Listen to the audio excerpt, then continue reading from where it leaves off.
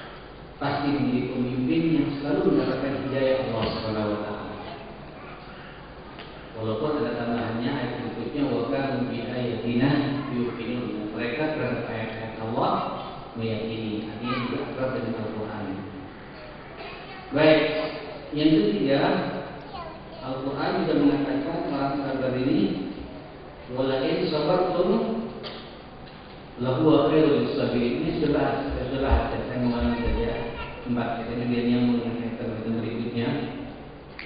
Walakin sabartum kalaulah kalian sabar kata Allah Subhanahu wa taala lahu khairul sabirin pasti itu akan lebih baiknya. Jadi khairiyatul hayat kebaikan itu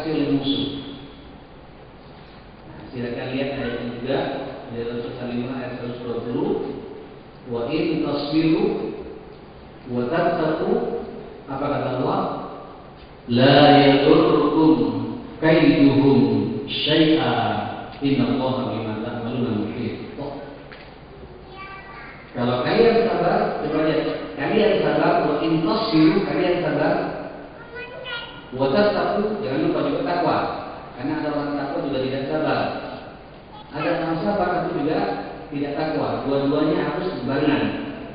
Sabar dan ketakwaan itu pasti orang itu hukum kayak hukum saya.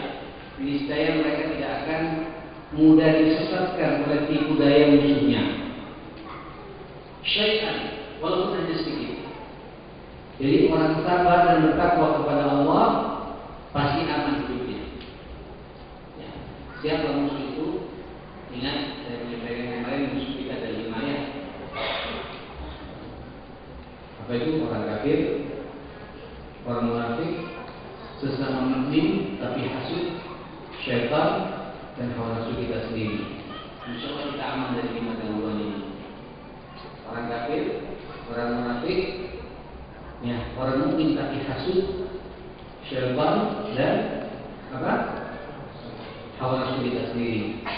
Insya Allah kita terbebas kalau kita sabar dan suka bertakwa kepada Allah Subhanahu Wa Taala. Baik, jemaah sekalian yang kelima sekarang. Allah Subhanahu Wa Taala juga berfirman dalam Al-Quran di ayat 200 nya surat Al-Imran. Apa kata Allah Subhanahu Wa Taala?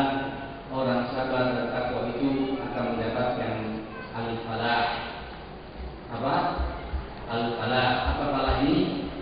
Kesuksesan hidup, keberuntungan hidup. A'udzu billahi minasyaitonir rajim.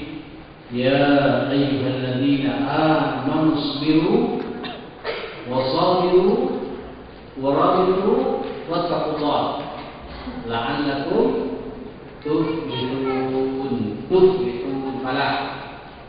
Wahai orang yang beriman, sabarlah.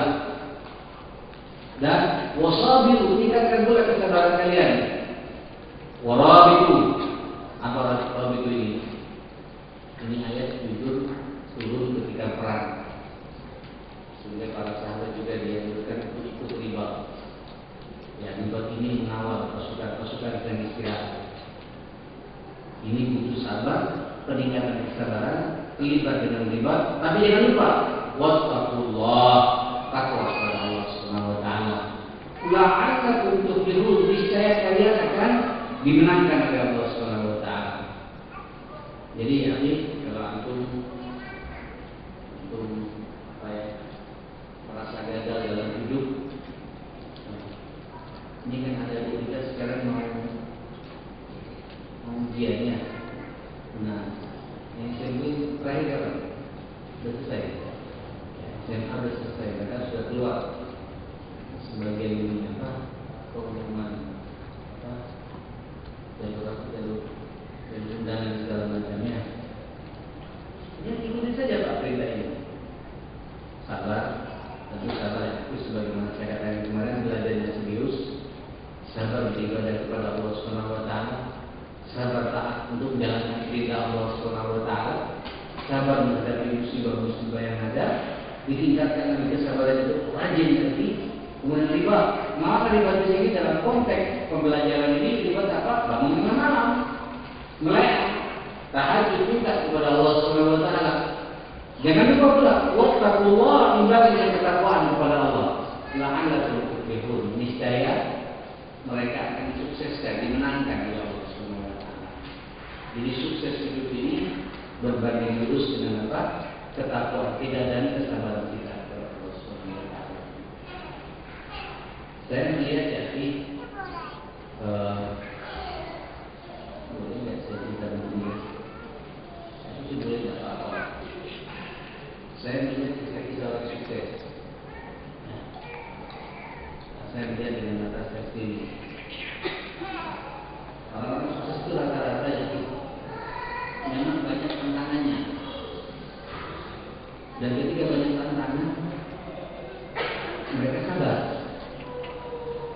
dan terkadang nanti tantangannya itu lewat anak buahnya atau lewat gejolak gejolak apa ya situasi kondisi ekonomi yang lagi bermasalah seperti ini tapi dia libat Berikutnya bagaimana jika haram berangkat umroh dan tidak main-main umrohnya serius diajak pula orang yang baik-baik untuk bersama-sama di dalam umroh ayo umroh bersama-sama ini riba dan ketakwaannya saya perhatikan masya Allah kekhusyuannya saya perhatikan banyak orang sukses secara materi dia sukses dalam menata rumah tangganya tidak sukses dalam komunikasi sosialnya sukses dalam materi tapi penyakitan kalau penyakitan sakitnya banyak nah saya perhatikan kalau orang terbiasa sabar merespon perintah Allah sabar tidak bermaksiat kepada Allah bisnisnya juga lurus mengikuti aturan Allah malamnya tahajud takwanya kokoh borokahnya luar biasa ya ini dikatakan oleh Allah, la'allakum tuflihun. Niscaya kalian akan dimenangkan, disukseskan oleh Allah Subhanahu wa taala. Ada ini apa-apa. Ya, bagi dengan sebuah sebuah tazkiyah seperti ini. Sampai saya punya kaidah dalam hidup ini, sudah penuhilah Allah, Allah pasti memenuhi hak-hak kita. Cuma dalam rangka memenuhi hak-hak Allah itu yang ekstra. Tidak ada sabar, tidak ada istiru tapi wasabiru. Tingkatkan pula kesabaran kita kepada Allah Subhanahu wa taala. Tambah lagi warab itu dalam konteks kita baru tengah malam. Riba ya di saat semua orang pada hidup atau jam dua setengah tiga bangun tahajud kita sudah bahas berarti di jam asar ya dia mulai itu minta kepada Allah diimbangi pula dalam kehidupan sehari-hari wattaqullah bertakwa kepada Allah. Hati-hati dalam menjalankan hidup ini. La'allakum tuflihun. Niscaya hidup kita ini akan apa dimenangkan disukseskan oleh Allah Subhanahu wa itu sukses hidup ini Oke, cukup jelas ya. Yang keberapa? Yang keenam, wa atau wa an mahabbatihi li وفي ذلك عقل ترغيب للراغبين فقال تعالى إن الله يحب الصابرين jadi kalau orang sabar itu pasti mendapatkan mahabbatullah yang tenang mendapatkan apa? mahabbatullah kecintaan Allah siapa yang ingin dicintai Allah Subhanahu wa taala saya pikir tidak ada Bapak Ibu, kalau Allah sudah cinta sama kita, ya sudah. Insya Allah siapa pun yang ada di sekitar kita semuanya mencintai kita. Ya. Coba lihat, Wallahu yuhibbu Wallahu yuhibbu. Allah sangat cinta kepada orang-orang yang sabar. Ayo kita kalau kita bagaimana kesabaran kita sabar, bagaimana saya katakan di awal pertemuan kemarin sabar menjalankan perintah Allah sabar berurutan ngaji seperti ini hidupkan sunnah Nabi sabar tidak bermaksiat kepada Allah Subhanahu wa taala sabar menghadapi berbagai macam rintangan hidup musibah-musibah yang menimpa kepada kita kita tidak mau curhat diberi Tuhan kita hanya kepada Allah kita tidak mau mengeluh dari keluhan kita hanya kepada Allah Subhanahu wa taala kesabaran seperti itu yang akan mendapatkan apa? Mahabbatullah. Wallahu yuhibbu apa? As-sabirin. Silakan dilihat itu di dalam surat Al-Imran ayat 146 di ayat terakhirnya itu. Baik, saya akan bacakan yang ketujuh secara jemaah sekalian. Yang ketujuh ini Allah Akbar. Ini ayat yang sering saya baca di momen seperti ini di kajian ini bahwa orang yang sabar ini akan mendapatkan kabar gembira dari Allah Subhanahu wa taala dengan tiga perkara yang semuanya ini mengandung kebaikan dunia dan akhirat. yang membuat kita di antara kita tidak ada hasut satu sama lain. Apa itu? Silakan renungi surat Al-Baqarah ayat 157 itu.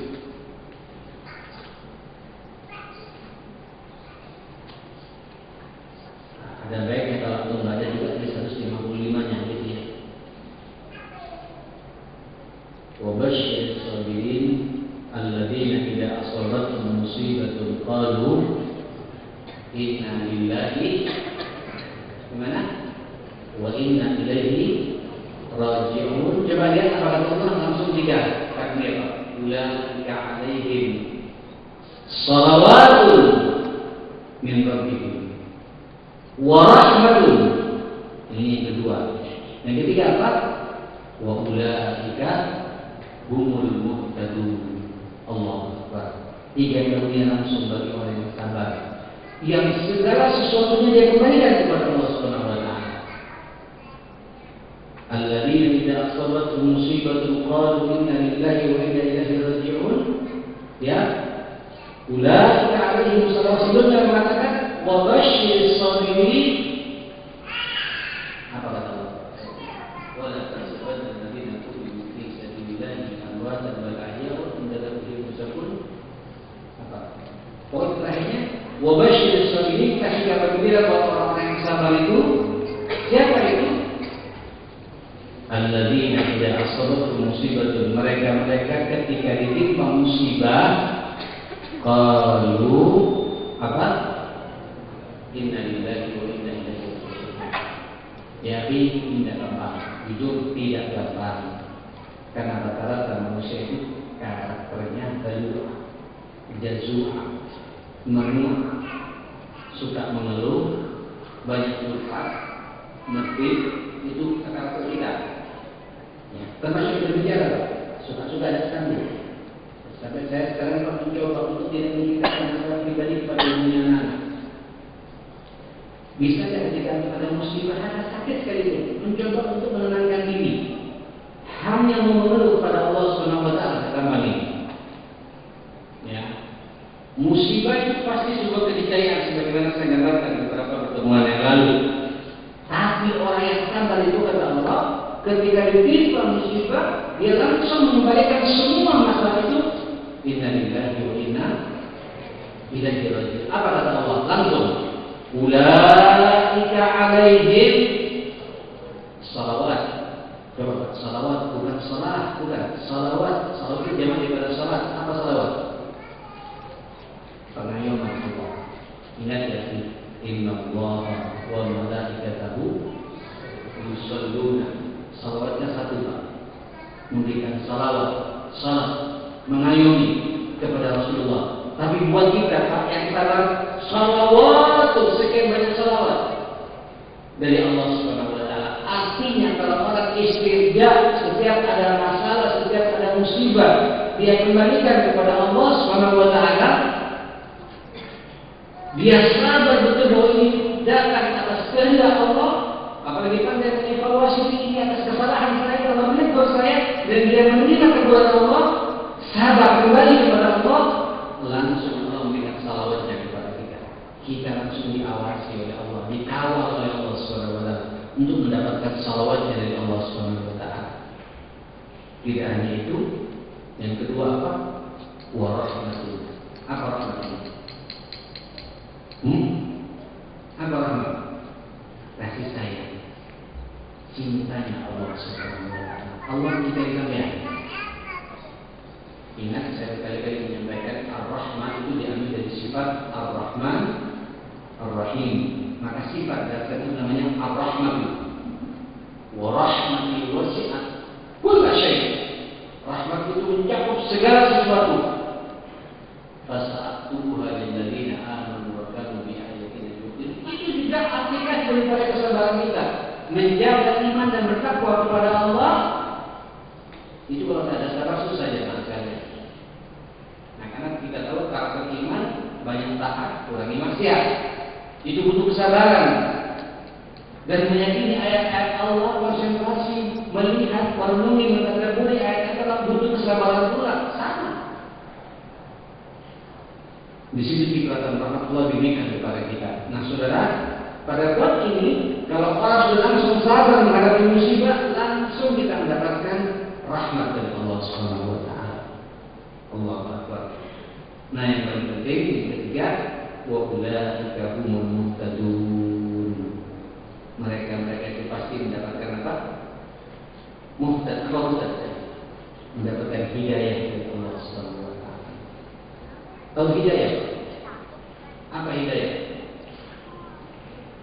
Ini kok kayak pasti ya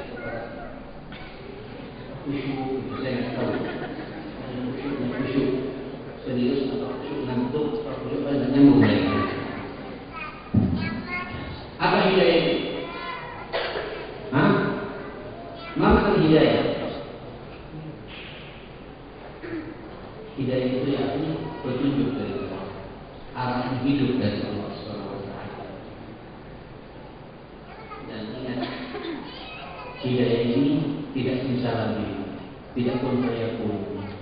Salah satunya diberi oleh Allah manakala sampai sabar dalam hidup ini. Sabar terhadap berbagai macam musibah yang Allah berikan kepada kita. Pasti Allah berikan hidayah kepada kita. Kata Allah di ayat yang lain, Nabi juga selalu menyampaikan ayat ini, "Mayyahdillah apa? Fahuwal muhtad." Atau "Mayyahdillah fala mudilla wa may yudlil fala tajid lahu waliyan mursyida atau wa may yudlil fala hadiyalah. Bagi siapa sudah diberi hidayah oleh Allah, maka hidupnya tidak akan sesat selama-lamanya. Masya Allah. Kenapa? Jadi kalau orang sahabat Pak itu pasti juga berbalik lurus dengan hidayahnya Allah, rahmatnya Allah, dan salawatnya Allah Subhanahu Wa Taala. Nah, Ayo Pak, latihan standar ini belum kita bisa jaga terus ya. Baik, yang keberapa? Yang keberapa? Yang kedelapan, Ja'al al-fawzu bil jannah wa najata min nar la yuhdi bihi illa sabirun. Wa qala 'azza wa jalla inni jazaituhum al-yawma bima sabaru annahum humul faizun. Di dalam surat Al-Mu'minun ayat 111 Allah Subhanahu wa taala para orang yang sabar itu balasannya dari Allah Subhanahu wa taala adalah kesuksesan hidup dunia dan akhirat. Di dunia akan bahagia dan di akhirat akan selamat masuk ke surga Allah dan diselamatkan pula dari nerakanya Allah Subhanahu wa taala. Silakan lihat di surat Al-Mu'minun ayat 111 ini jazaituhumul yawma bima sabaru Sesungguhnya aku hari ini akan membalas kepada mereka atas kesabaran yang mereka lakukan di dunia itu. Annahumul faizun bahwa sesungguhnya mereka itu adalah akan mendapatkan keberuntungan akan surga yang Allah Subhanahu wa taala dan jauh dari neraka yang Allah Subhanahu wa taala.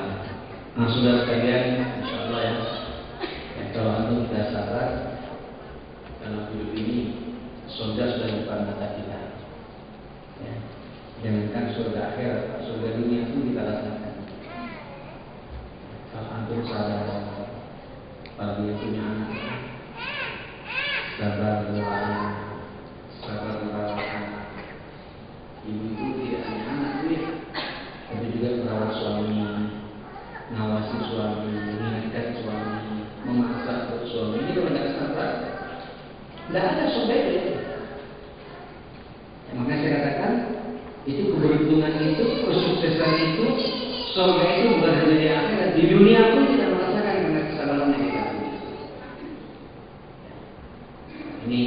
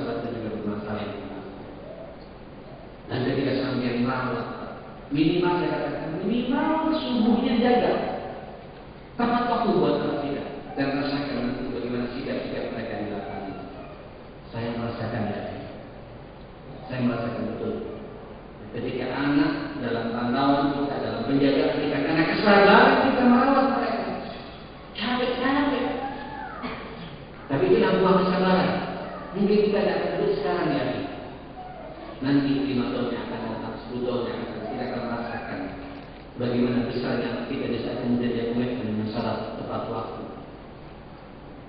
Nah, sekarang baru dulu semua Ini kurang apa kan?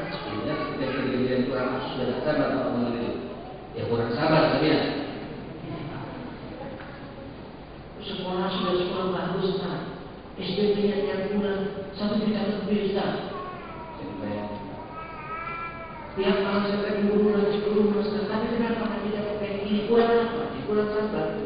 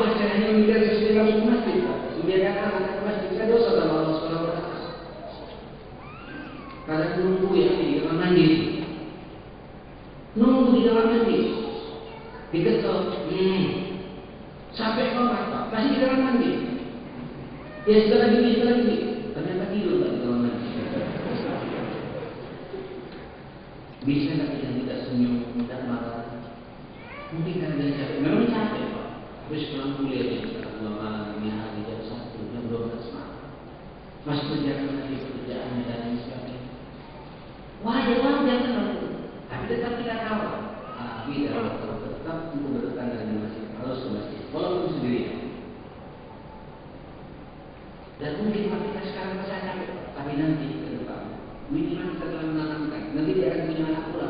Dia juga akan menanamkan sebagaimana kita ajarkan pada mereka. Kesabaran seperti inilah jemaah kalian yang akan kemudian membuat kita akan beruntung sukses punya dan ada. Bahkan surga dunia dalam rumah tangga bisa kita rasakan. Apalagi itu surga semuanya tidak ada Allah dari izin Allah Subhanahu wa taala. Baik, saudara sekalian, Allah yang berapa?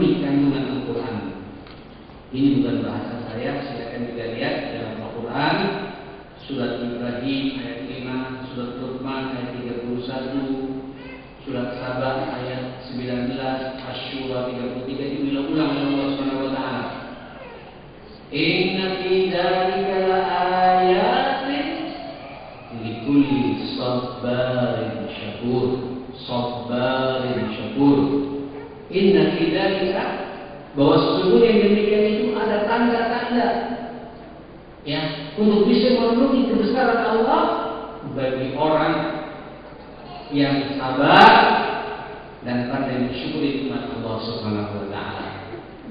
Jadi jadi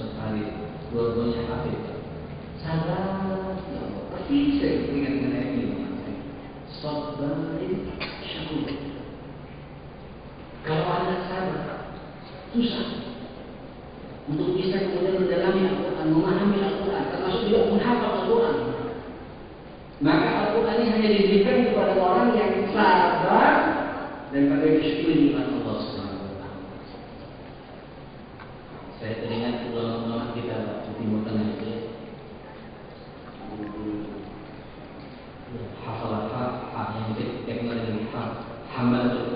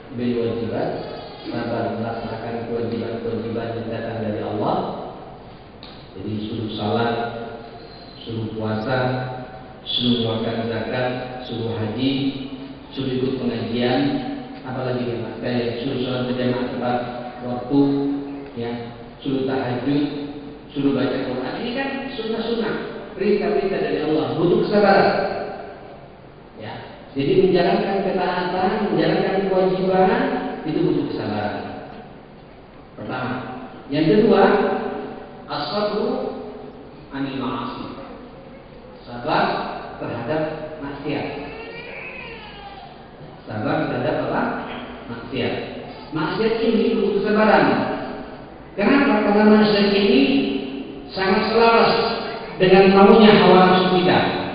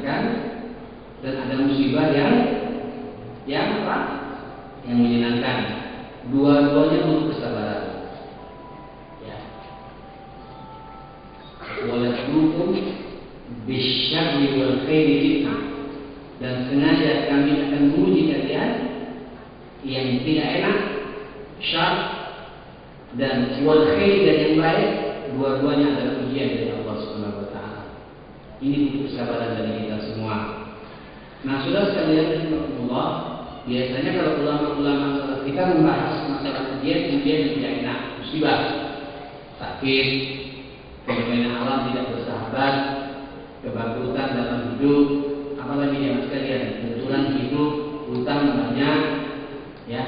Ketidaksuksesan dalam hidup musibah tetap kita kembalikan kepada Allah. Sekaligus kita juga harus pandai mengevaluasi.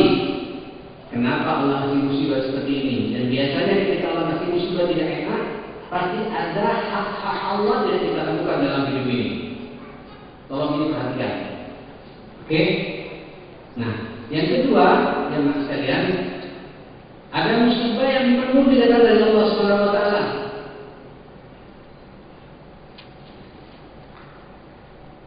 musibah yang murni datang dari Allah, bukan karena ulah kita. Ya, apa contohnya jemaah sekalian? Antum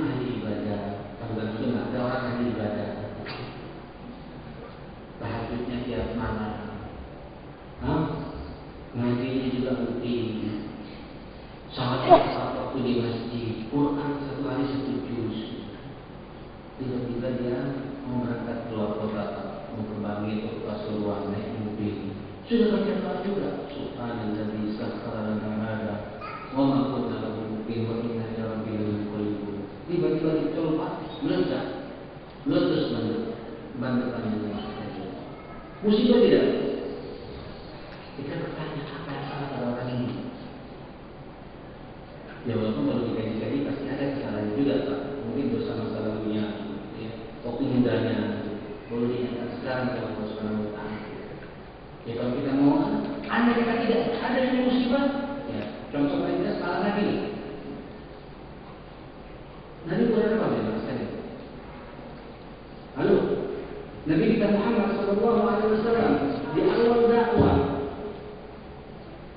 Sepuluh tahun pertama penuh dengan tantangan, ujian, berdarah-darah, diusir, berangkat ke Bali, dilempar berulang di wilayah, digiring ya? karena kaum yang lima kilometer ya sekalian, di arah sampai kulitnya robek karena dilempar batu,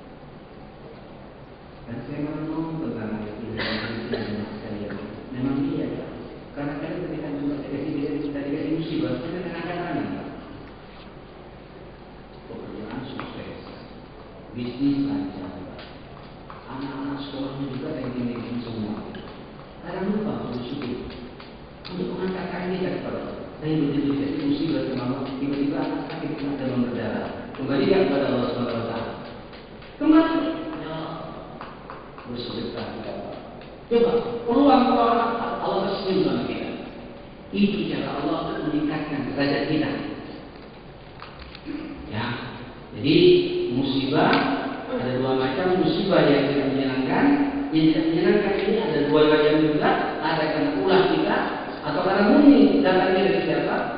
Dari Allah Subhanahu wa taala. Nah, yang paling besar itu di? Ini adalah musibah yang menyenangkan ini, Pak. Di mana kita tidak pandai mensyukurinya. Karena tadi ada bab antara sabar dan syukur. Ada musibah yang kita syukuri, Pak, kepada Allah Subhanahu wa taala ujian sebenarnya karena Allah mengatakan berhukum besyari wal khair fitnah. Kami akan menguji kalian yang buruk dan yang baik itu dua-duanya ujian. Saya mohon maaf tidak di sini. Kita lihat sehat-sehat semua, Pak. Sehat ini nikmat tidak? Hah? Nikmat ya?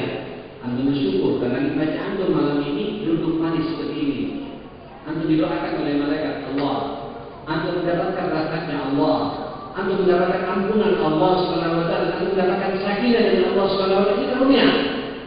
Syukur kepada Allah Subhanahu wa taala. Tapi dalam sehat malam ini seperti ini pula dan di sini, Pak. Ini seperti sehat. Tapi sehat yang juga maksiat. Musibah tidak. Musibah tidak. Sehat. Tapi namun di rumah terus yang ke mana-mana. Sehat. Hati-hati dong ya sehat dibuat maksiat ini musibah bagi kita. Oke ini butuh kesabaran pak. Sabar menghadapi kesehatan kita. Punya kemudian sehat kita semakin dekat dengan Allah Subhanahu Wa Taala. Sampai di bisnis kita pak dibuat lancar oleh Allah Subhanahu Wa Taala. Kulit luar biasa. Kalau saya mendengarkan kemarin waktu itu kan saya. Udah tersendut udah berapa 250 juta dolar. Ini.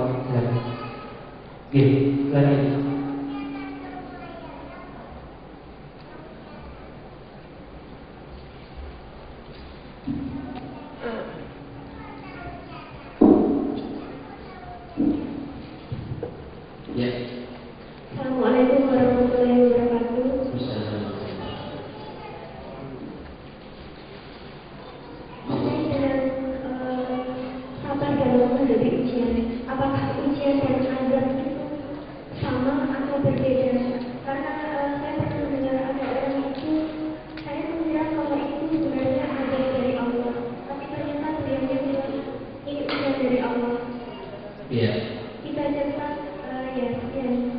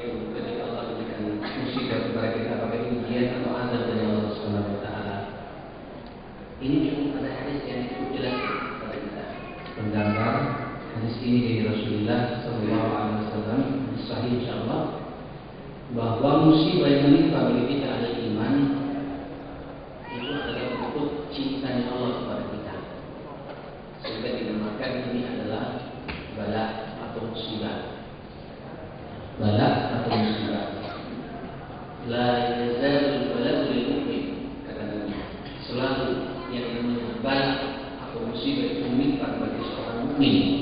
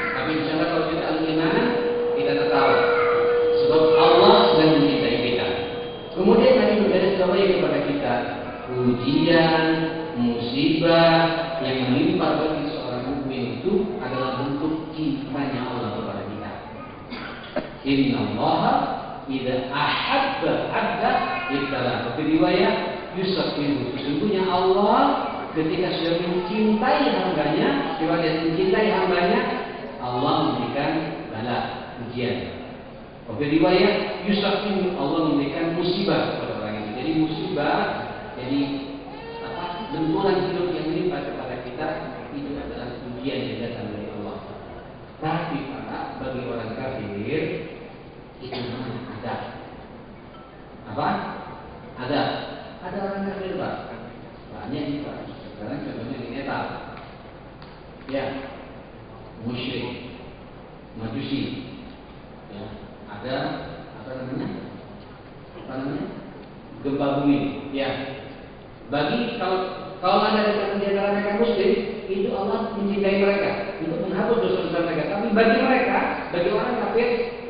adab min Allah Subhanahu wa taala. Sebelum Allah memberikan adab yang sebenarnya di akhirat. Nyambung deh. Ya. Jadi bagi kita orang Islam di dunia ini, kalau ada musibah menimpa kepada kita itu adalah ujian. Tapi kalau menimpa pada orang kafir itu adalah apa? Ada. Dan Allah ketika memberikan musibah kepada kita, ujian kepada kita itu adalah bentuk cintanya Allah kepada kita untuk menghapus semua dosa-dosa kita. Ma أصاب للمؤمن من وصف ونصب وهم وغم حتى الشوك يشاكها إلا كفر الله له من خطاياه. Tidaklah menimpa bagi seorang mukmin. Coba lihat, tidaklah menimpa bagi seorang mukmin. Capeknya hidup, lelahnya hidup, sakit, sumpah, gelisah, sedih, sampai dunia masuk ke dalam tangan dan kakinya, ini cara Allah untuk menghapus dosa-dosa orang itu. Cintalah Allah cintakan sama kita untuk dunia, kalau tidak demikian ya sekalian. Ini yang bentuk cintanya Allah kepada kita. Jadi ini cara Allah untuk menghapus dosa kita. Kalau kita tidak punya dosa, Allah sedang cinta kepada kita untuk mendengarkan kehidupan kita. Ya, desahan kita kepada Allah Subhanahu wa Tapi kalau orang kafir itu adalah ada teguran yang sangat keras dari Allah Subhanahu wa taala. Baik, yang kedua, Bapak tadi menanyakan tentang sifat ibu. Ibu ini Pak menimpa pada siapa bulan. Termasuk juga yang berbicara. Pasti setiap ibu, sifat ibu, memenangkan ya. Walaupun terkadang perlu kita evaluasi, ada ibu kadang-kadang ibu yang positif, Pak. Karena kita itu untuk menegakkan kebenaran, keyakinan kita. Ya, yang repot kalau ibu itu ibu yang negatif, marah, emosi, mau menang sendiri, padahal kita salah. Yang membayar, nah, ini syahwat sudah, ini hawa nafsu. Dan bagaimana kita untuk kemudian merendahkan, merendahkan rasa ibu yang kita punya ini, menghilangkan, menghapus atau meminimalisir bab ini tidak ada jalan lain Pak mujahadah. Ya ayo Pak, hidupkan sholat lima waktu di masjid. Saya yakin Pak kalau kemudian kita semua jemaah sekalian setiap dengan suara yang langsung kita langkahkan ibu kita di masjid. Ini berarti kita sedang menangkan ibu kita. Ya, keinginan syahwat pribadi kita untuk hidup, untuk sampai-sampai untuk berbisnis, untuk bermain, untuk berbisnis. Ada panggilan Allah, kita semua labbaik, Allahumma labbaik, datang ke masjid. Nanti asal juga begitu Pak. Maghrib juga begitu, bisa juga begitu. Ini terjadi bahwa waktu kita selesaikan, ibu kita akan akan akan bertekan. Apalagi kemudian sholat tengah malam juga dijalankan. Tahajud juga dijalankan. Qiyamul kita tegakkan. Masya Allah. Di saat semua kita orang pada tidur, syahdu tidur kita kita tekan untuk melihat dengan Allah Subhanahu Wa Taala. Pasti kita akan punya sifat lebih dengan Allah Subhanahu Wa Taala. Ditambah lagi juga sampean yang baca Quran. Dan dibaca bukan hanya yasin pak, tapi mungkin mulai awal. Sekarang tanggal 12 juz 12, besok tanggal 13 juz 13, besoknya lagi juz 14, tanggal 14 juz 14, tanggal 30 kata, ulangi lagi dari awal. Biar ya. Walaupun kita harus jangan kemudian merasa bahwa akan aman pak, kita tetap manusia, karena kita bukan malaikat, ya kan? Kita bukan malaikat. Tapi kita optimis, insya Allah kalau kita terbiasa begini minimal terminimalisir rasa ingin kita punya. Yang kedua juga dengan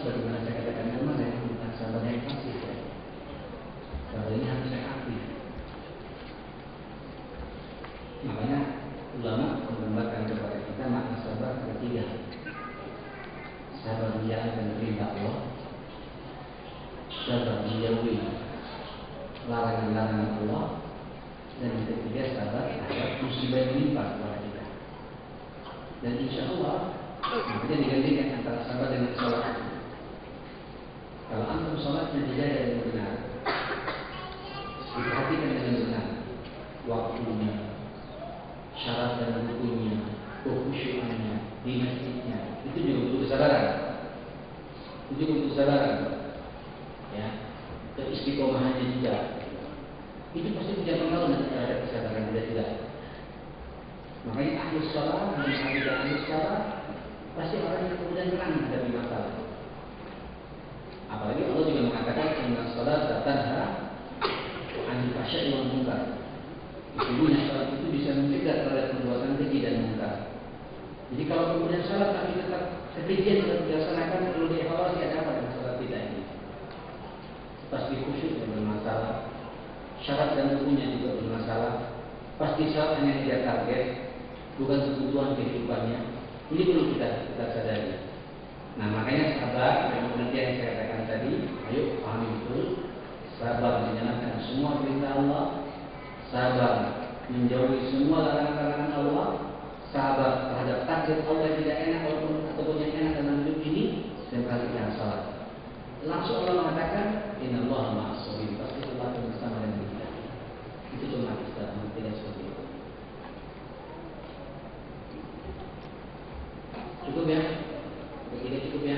Baik